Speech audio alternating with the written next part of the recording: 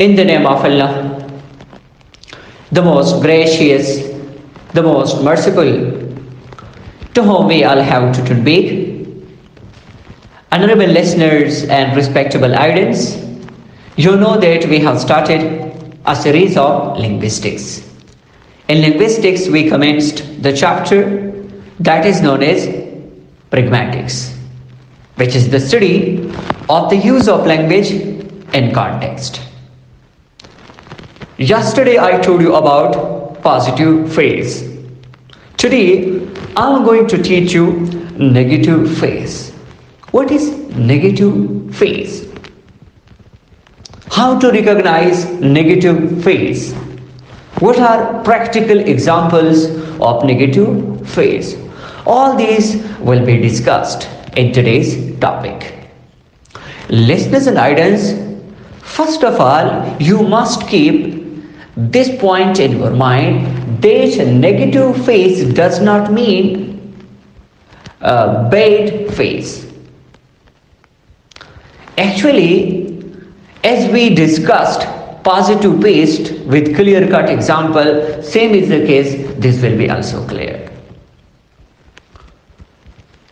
What is the definition of negative face? Negative face is also known as negative uh, politeness. It is the need to be independent and free from the imposition of others.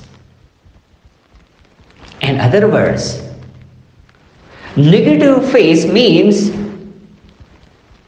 to be uh, free from the imposition, pressure, and force of others, and also to be independent in his work and action.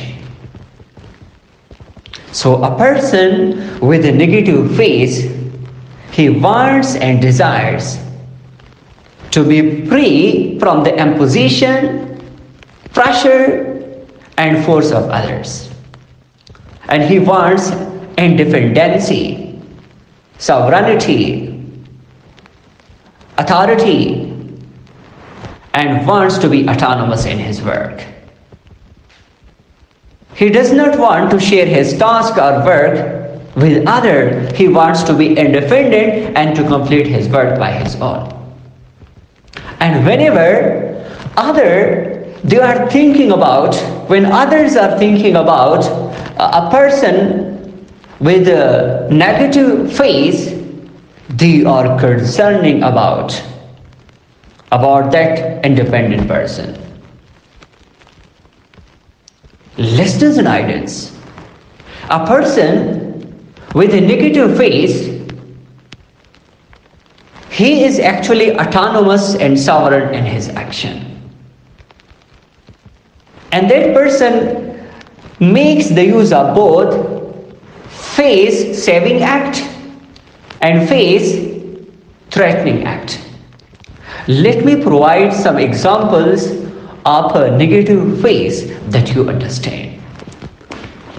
The first example of a negative face is I am sorry. I'm sorry to bother you. I'm sorry to bother you.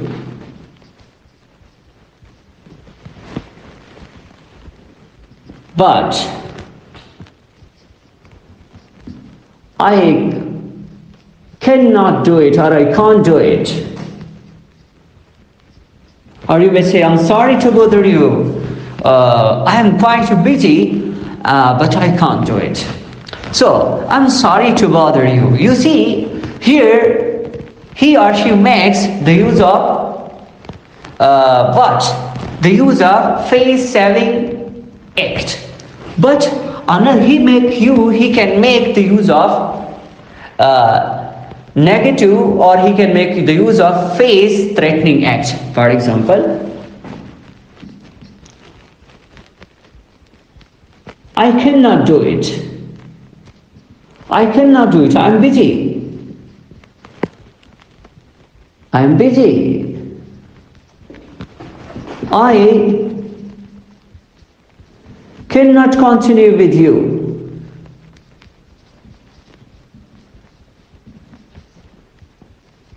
Lessons and ideas. So he can make the use of both uh, face saving act or face threatening act. The first example is of the face saving act and the next example is of uh, face threatening act. Listeners and ideas. To make it short, a negative face is the need to be independent and free from the imposition of others. A person with having a negative face or a person with negative face, he wants to be independent, authoritative, autonomous in his action and he does not want to share his task with others and wants to complete by himself. Hope that this topic is clear to you. And with this, our topic is completed. Politeness, uh, saving, face saving act, face threatening act, positive politeness and negative politeness. In the upcoming lecture, inshallah, we will start the new topic and that would be speech act or speech act theory.